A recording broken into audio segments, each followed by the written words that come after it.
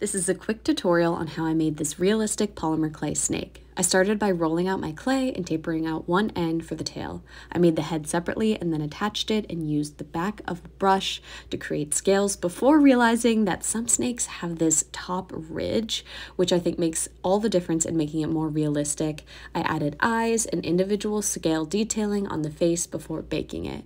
Once it cooled, I lightly painted it, which allowed some of the brown to show through, and added some iridescent paint to finish it off.